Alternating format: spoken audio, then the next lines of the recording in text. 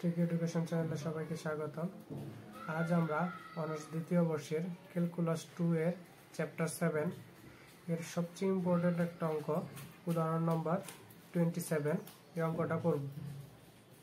এই অঙ্কটা তোমাদের জন্য ইম্পর্টেন্ট এই জন্য তো দেখো, এই অঙ্কটা দু হাজার তিন, সাত, ষোলো এবং আঠারোতে আসছে।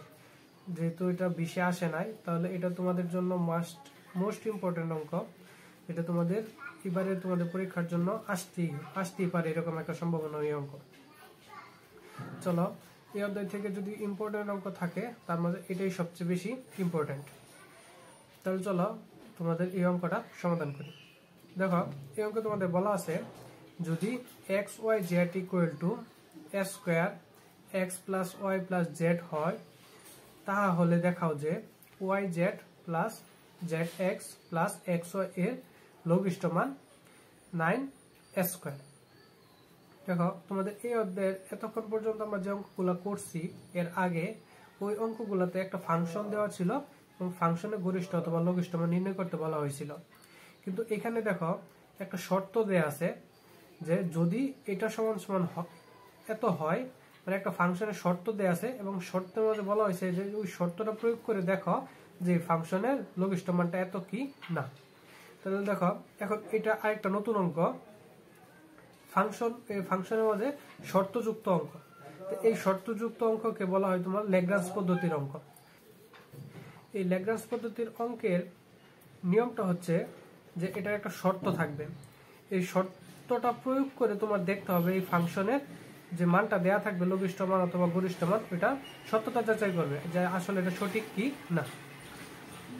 তাহলে এই ল্যাগ্রান্স পদ্ধতির জন্য আমাদের যে প্রথমে যে ফাংশনের গরিষ্ঠ মান এবং লঘিষ্ঠ মান নির্ণয়ের শর্ত কি ছিল? এই যে ফাংশনটা দেওয়া থাকবে, এই ফাংশনের এক্সের সাপেক্ষে বা ওয়ের সাপেক্ষে ডিফারেন্সিয়েশন করলে ওই মানটা কি হবে?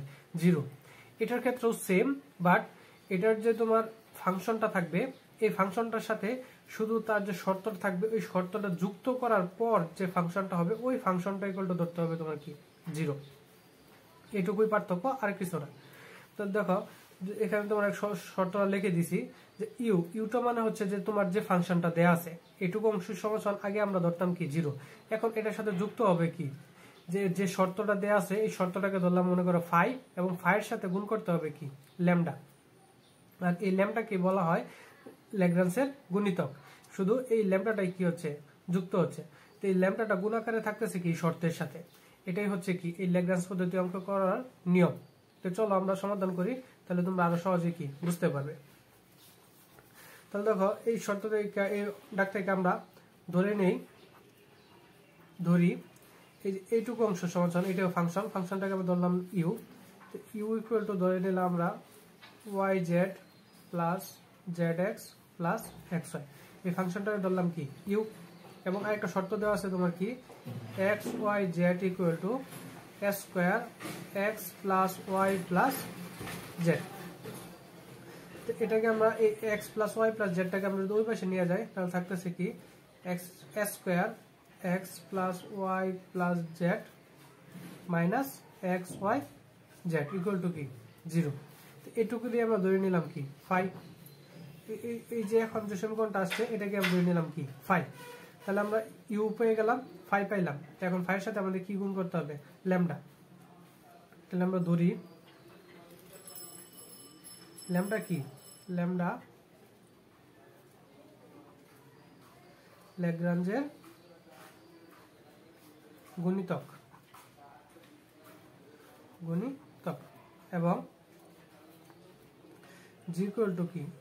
U plus lambda into five u plus lambda into five তাহলে দেখো, এখানে কি আসতেছে? জি ইকুয়াল টু তো ইউ ইউ এর মানটা তোমরা বসাই। Y z plus z x plus x y এটুকু অংশের মান কি? ইউ এর প্লাস এখন ফাইভ ফাইভের সাথে কি গুণ হবে? শুধু ল্যাম্পটা তাহলে এই যে আমরা প্রথমে ল্যামটাটা দিলাম এবং পুরো ফাইভের মানটা দিতেছি। Lambda into square x plus y plus z minus x y z শুধু এটুকু আমরা সেকেন্ড ব্র্যাকেট দিয়ে দিলাম, যে এই শুধু ল্যাম্পটাটা গুণ দিয়ে দিলাম, আমরা শুধু ল্যাম্পটাটা গুণ দিয়ে দিলাম এবং ল্যাম্পটার ভিতরে যে ফায়ার মানটা আছে, সেই ফায়ার মানটা লিখে দিলাম। তাহলে দেখো, এখন আমাদের শর্তটা কি ছিল? এই জি এখন এই যে এটাই হচ্ছে আমাদের কি? ফাংশন এখন এটার সাথে এটা কি আমার কি করতে হবে? এক্সের সাপেক্ষে ওয়াই সাপেক্ষে জেড এর সাপেক্ষে কি ডিফারেন্সিয়েশন করতে হবে? তাহলে জি যদি আমরা এক্সের সাপেক্ষে ডিফারেন্সিয়েশন করি জি অফ এক্স তাহলে এটা এক্সের সাপেক্ষে ডিফারেন্সিয়েশন করলে দেখো কি আসতেছে? এখানে যদি এক্স নাই তাহলে এটা কি হয়ে যাবে? জিরো তো এখানে এক্স আছে, এটা কি হবে? জেড প্লাস ওয়াই প্লাস এটুকু অংশ, সবটুকুর মাঝে কি আছে দেখো? দেখো, এটা যদি তুমি ল্যাম্পটা যদি একসাথে নিয়ে গুণ দাও, তাহলে এটুকুর মাঝে শুধু এক্সের মান আসতেছে সবগুলো কি জিরো হয়ে যাবে? তাহলে এখানে কি কি থাকতেছে দেখো? Lambda square lambda square. এবং এটুকু অংশের মাঝে কি কি থাকতেছে দেখো, ল্যামডা এক্স ওয়াই জেড যেহেতু এক্স আছে, তাহলে কি হবে? Lambda y z minus lambda y z তাহলে দেখো, এখন আমি যদি ওয়াই সাপেক্ষে ডিফারেন্সিয়েশন করি, দেখো ওয়াই সাপেক্ষে ডিফারেন্সিয়েশন করলে আসতেছে z plus x plus lambda square minus lambda y x তারপরে দেখো, আমরা যদি এখন জেড এর সাপেক্ষে ডিফারেন্সিয়েশন করি দেখো জেড এর সাপেক্ষে ডিফারেন্সিয়েশন করলে এখানে থাকতেছে কি ওয়াই প্লাস এক্স তারপরে দেখো plus lambda square minus lambda y z আশা করি তোমরা বুঝতে পারছ।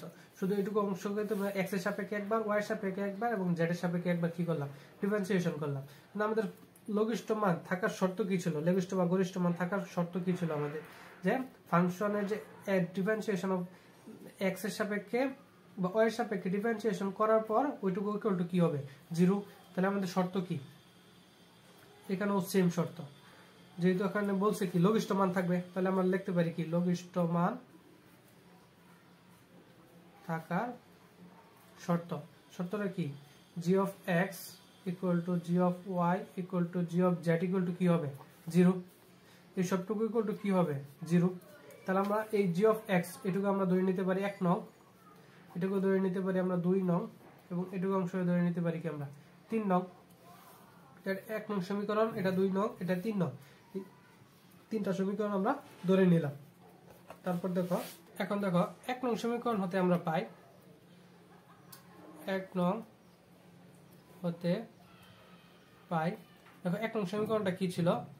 Z plus Y plus lambda square minus lambda Y Z এটুকু ইকুয়াল টু কি ছিল?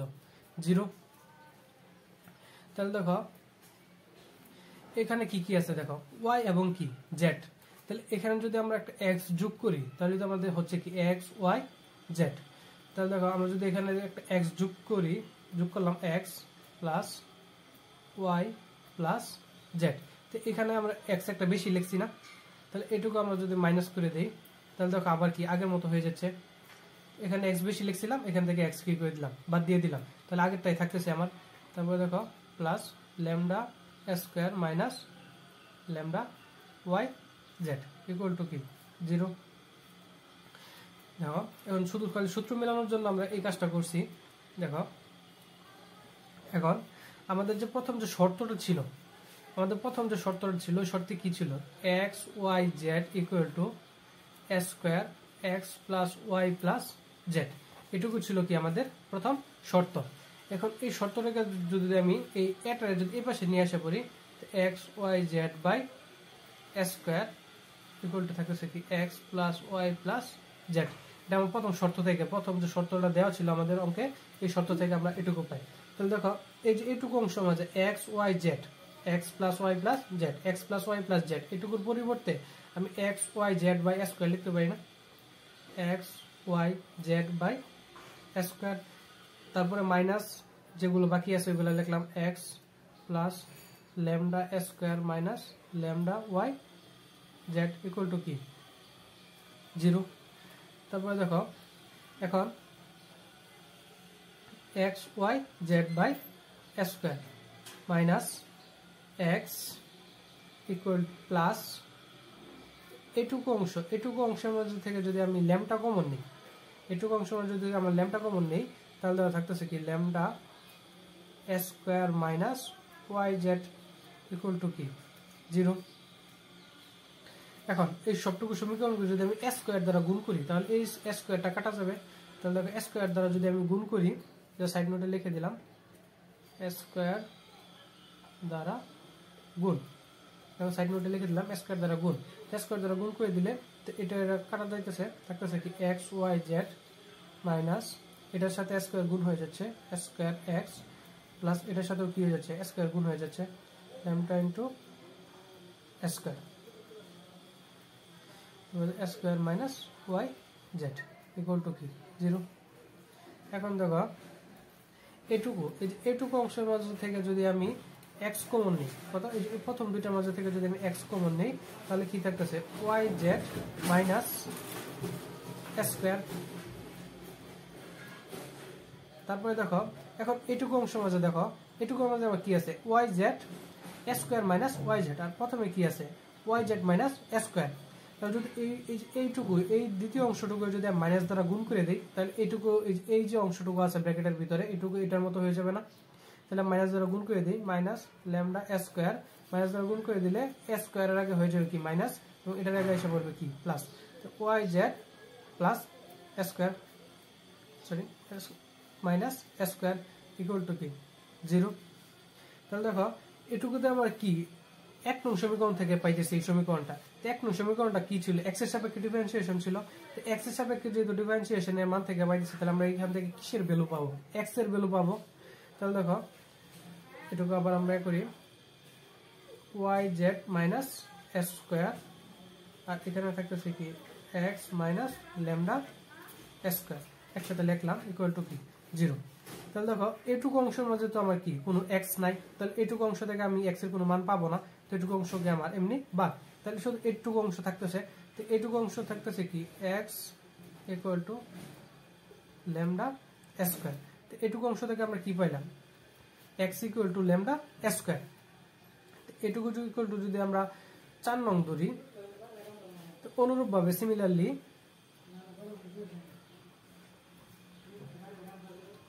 অনুরূপভাবে এক্স ইকুয়াল টু যদি ল্যামডা স্কোয়ার পাইলাম, তাহলে আমাদের কি? ওয়াই ইকুয়াল টু পাবো কি? ল্যামডা স্কোয়ার এবং জেড ইকুয়াল টু কি পাবো?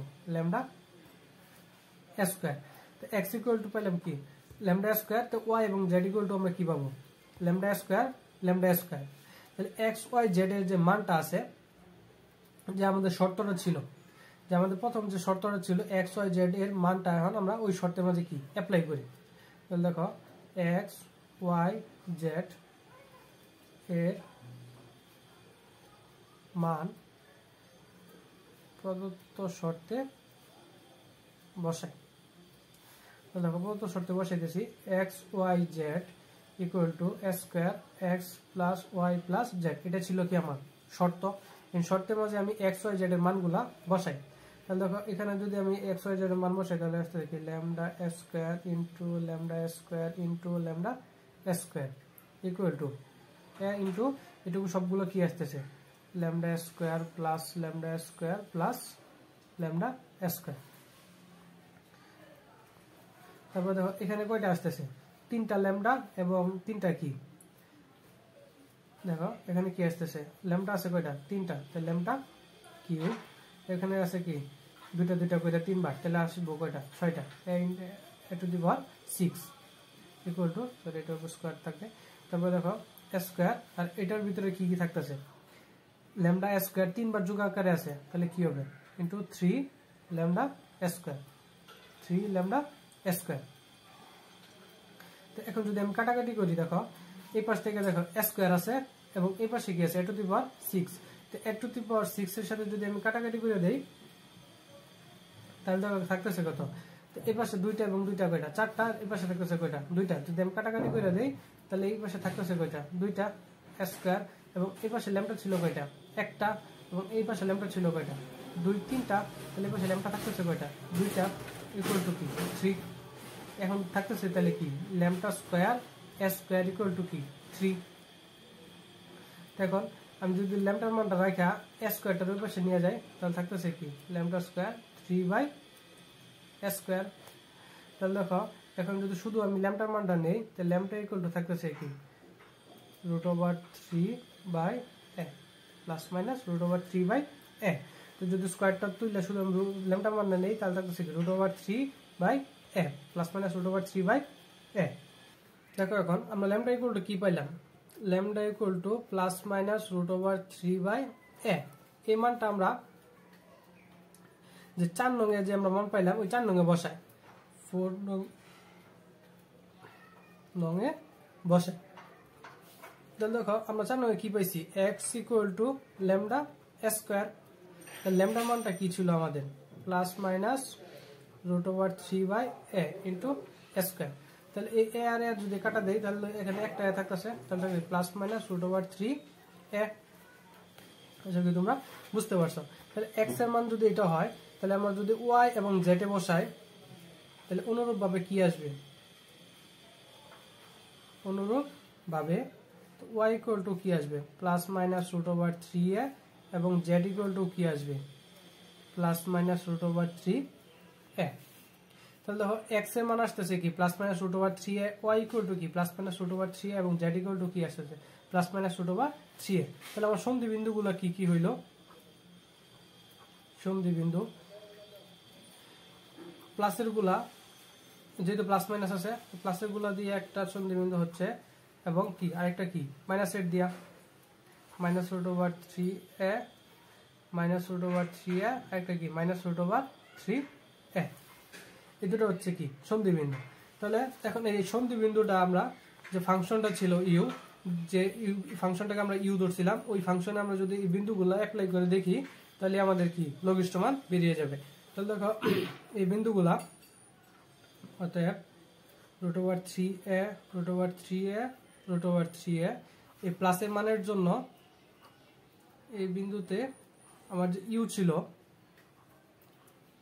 ইউ ছিল, ইউ এর মাঝে আমার কি? মানটা বসায় দিই। আমাদের Y Z Z X plus X Y. এটা ছিল আমাদের কি? ওয়াই এর মান ইউ এর মান। তাহলে দেখো, এটুকুর মাঝে আমরা শুধু কি? বিন্দুগুলো বসাই। তো এটা যদি, প্রথমটা যদি এক্স ওয়াই ওয়াই হয় এবং জেড হয়, যেহেতু সবগুলোর মানই কি? সেম। তাহলে আমার সবগুলোর মান কি? বসাই।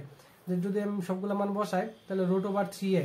দুইটা রুট ওভার থ্রিতে একটা থ্রি হচ্ছে এবং দুইটা এ মিলে কি হচ্ছে? স্কোয়ার। তো এটুকুতে আমাদের কি আসতেছে? এক্স স্কোয়ার তো যেহেতু সবগুলো মানই সেম তাহলে আসতেছে কি? Three A square plus three A square তাহলে মোট আসতেছে কত? নাইন এস স্কোয়ার এবং এখন মাইনাস থ্রি এর জন্য বসাই। Minus root over three A minus root over three A এবং কি? Minus root over three A এত বিন্দুতে, এত বিন্দুতেও যদি আমি বসাই, তাহলে দেখো মাইনাস যদি আমরা ডাকটাকে লিখে নিই Y Z plus Z X plus X Y তাহলে দেখো, এখন যদি মাইনাসের মানগুলো বসাই, তাহলে দুইটা একসাথে মাইনাস কি হয়ে যাবে? মাইনাসে মাইনাসে প্লাস তাহলে সেম মানই আসতেছে আমার three square plus three square plus three square equal to কি আসতেছে? নাইন স্কোয়ার তাহলে দেখো, এইটুকু, এই বিন্দু দুইটাতেও কি? মান আসতেছে কি? নাইন স্কোয়ার তো তোমার এটাই প্রমাণ করতে বলা হয়েছিল যে, দেখো এত এত এর লঘিষ্ঠ মান কত নাইন স্কোয়ার তাহলে দেখো লঘিষ্ঠ মান আমাদের কত আসছে? নাইন স্কোয়ার এটাই তোমাদের কি বের করতে বলা হয়েছিল। তো খুবই সহজ অঙ্ক এবং খুবই ছোট। তাহলে দেখো এই অঙ্কটাই তোমাদের এবারের জন্য সবচেয়ে বেশি ইম্পর্টেন্ট দু হাজার একুশে যারা পরীক্ষা দিবা, নতুন সেকেন্ড ইয়ার তাদের জন্য এই অঙ্কটা সবচেয়ে বেশি ইম্পর্টেন্ট কারণ এটা দু হাজার আঠারোতেও আসছে, এর আগে দু হাজার ষোলোতেও আসছে। তাহলে এবারে তোমাদের জন্য অবশ্যই আসার মতো একটি অঙ্ক।